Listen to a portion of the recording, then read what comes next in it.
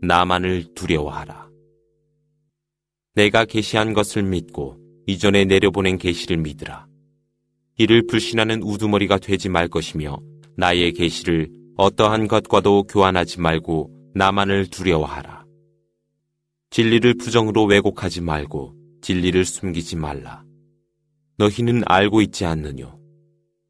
예배를 드리고 이슬람세를 바칠 것이며 다 같이 고개 숙여 하나님을 경배하라. 선을 행하라. 너희 백성들에게 일렀으되 너희 자신들은 망각하고 있느뇨. 성서를 낭독하면서도 모른단 말이뇨. 인내와 예배로서 구원하라. 실로 그것은 겸손한 마음이 없는 사람에게는 힘든 일이라. 주님을 만날 수 있다고 확신하는 사람은 주님께로 돌아가니라. 이스라엘 자손들이여, 내가 너희들에게 베푼 나의 은총을 기억하라. 내가 그대들을 선택했노라. 그날을 두려워하라.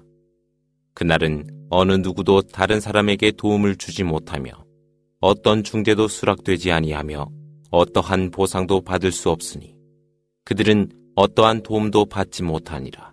하나님께서 너희를 파라오의 압박으로부터 구하였음을 상기하라. 그들은 너희를 구속하고 남성들을 학살하였으며 여성들은 그들을 위해 봉사하도록 하였으니 이것이야말로 주님이 내리신 시련이라. 바다를 둘러 쪼개어 너희들을 구하고 너희들의 안면에서 파라오 족을 익사케 했나니 모세에게 40일 밤을 명하여 은과하게 하였을 때 그대들은 송아지를 택하여 우상을 숭배하였음에 너희들은 우매하였노라. 그 후에도 하나님은 그대들을 용서하여 주었나니 이에 감사하라. 하나님께서 모세에게 성서와 식별서를 내렸나니 이것으로 너희가 인도될 것이라. 모세가 그의 백성에게 이르되 백성들이여 송아지를 숭배하여 자신들을 우롱했노라. 주님께 회개하고 속죄하라. 주님의 은총이 있어 너희들을 용서할 것이라. 진실로 그분은 관용과 자비로 충만하시니라. 모세야, 하나님의 형상을 볼 때까지는 믿을 수 없도다라고 말한 것을 기억하라. 그때 천둥과 번개가 그들을 불태워 버렸음을 너희는 지켜보지 아니했느뇨. 그런데도 너희가 죽은 후 내가 너희를 부활시켰으니 이에 감사하라. 하나님께서 구름으로 그늘을 만들고 만나와 쌀와를 보내며 그대들에게 준 양식 가운데 좋은 것을 먹으라 했거늘 나를 속이지 못하고 스스로 자신들을 우매하게 하였을 뿐이라. 하나님이 말한 것을 상기하라.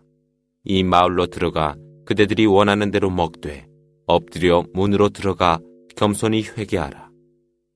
하나님이 그대들의 죄를 용서하고 선행을 베푸는 사람에게는 보상을 증가할 것이라. 그러나 그 우매한 사람들은 그들에게 계시된 말씀을 변조하였으니 하나님께서 그 우매한 사람들에게 하늘로부터 흑사병을 보내도다. 이는 그들이 계속 죄를 범했기 때문이라. 상기하라. 모세가 그의 백성을 위해 물을 구하매 하나님이 모세에게 내 지팡이로 그 바위를 때리라 하니 그곳으로부터 열두 개의 샘이 솟아나와 각 부족들은 그들이 마실 곳을 알았도다. 하나님이 주신 양식을 먹고 마시되 현세에서 해악을 퍼뜨리지 말라. 그들이 모세에게 말하기를 모세여 음식 한 가지로만 살 수 없나니 목초와 오이, 마늘과 아다스 그리고 양파를 하나님께 구원하여 주소서. 모세 가로되 그것들보다 더 좋은 것을 주셨는데 너희는 이 하찮은 것과 바꾸려 하느뇨. 아무 곳이나 가보아라. 너희가 구한 곳을 얻을지니 이에 하나님은 그들을 보잘것없고 처량한 족속으로 만들었으며 그들은 하나님의 노여움을 샀도다. 그들은 하나님의 말씀을 부인하고 예언자들을 무차별 살해했으니 이들은 불신자들이라. 꾸란을 믿는 자들이나 구약을 믿는 자들이나 그리스도인과 천사들을 믿는 사비안들이나 하나님과 내세를 믿고 선행을 행하는 자에게는 주님의 보상이 있을 것이며 그대들에게는 두려움도 슬픔도 없을 것이라.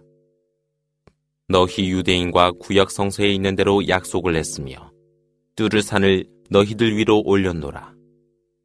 너희에게 내려준 것을 확고히 잡을 것이며 그 안의 뜻을 생각하라. 의로운 사람들이 될 것이라. 그러나 너희는 이를 불신했나니 하나님이 너희에게 은총과 자비를 베풀지 않으셨다면 너희는 명망하는 자 중에 있을 것이라.